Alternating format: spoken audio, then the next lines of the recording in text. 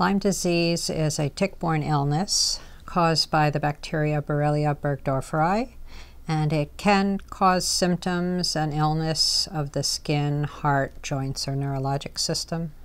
So it's important for it to be detected early and treated with antibiotics so that people do not get ill. Lyme disease is primarily focused in the Northeast, the upper Midwest, and regions of the Pacific Northwest. You can contract it in other parts of the country, but those are the most um, endemic areas. By far, the most common seasons to develop Lyme disease are spring, summer, and fall.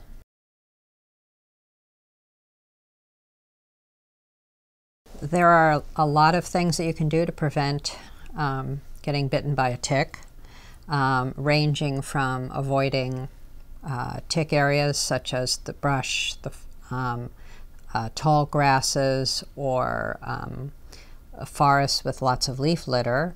Um, you can wear long sleeved and long pants with your pants tucked into your socks to prevent Lyme disease or a tick bite.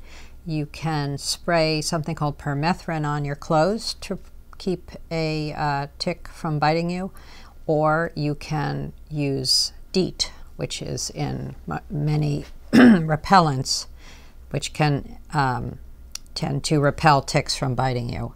Um, you should wear light colored clothing if you can, so that you can see a tick if it does bite you.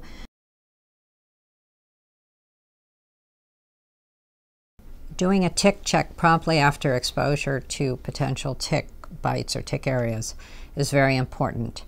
And this should be done by um, completely removing your clothes, throwing it into the dryer, putting the dryer on high for 10 minutes. That will kill the ticks on your clothes. And then going into the bathroom and doing a full body tick check. When you do a full body tick check, you should not only look for ticks, which can be as small as a poppy seed, you should feel um, your arms and legs and other uh, areas that are potentially uh, a, a, region that a tick may have bitten you on, and feel for a poppy seed like um, feeling, and then look and see if that um, is a tick. So the proper technique for removing a tick, if it has bit, bitten you, um, is to take a fine tooth tweezer, um, place the tweezer right at the um, entry point of the tick. Grasp a hold and pull straight out.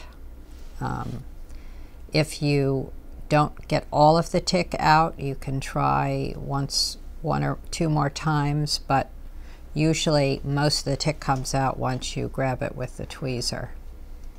Um, if you know that the tick has been on you for less than 24 hours, then you can feel relatively confident that you will not contract Lyme disease or another tick-borne illness, since it takes a minimum of 24 hours of attachment for the tick to transmit the bacteria. Overwhelmingly, the, the rash of Lyme disease is characterized by the fact that it spreads. So if you have a red ring-like rash that spreads, it's very likely that it is Lyme disease. If you don't develop a rash from Lyme disease, you can develop meningitis or neuritis, such as Bell's palsy, which is um, facial paralysis. You can develop a um, Lyme arthritis, which is in the beginning a migra migratory joint pain and joint swelling Unfortunately, Lyme disease can also cause cardiac abnormalities, most likely rhythm difficulties in the heart, such as heart block, um, or dizziness with palpitations or a slow heart. Any of these symptoms of Lyme should um, be evaluated by a doctor as soon as possible so you can get treatment.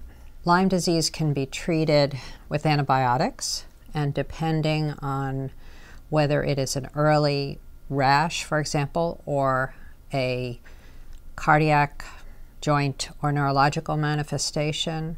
Um, it is treated with antibiotics of several weeks duration by mouth or several weeks duration intravenously.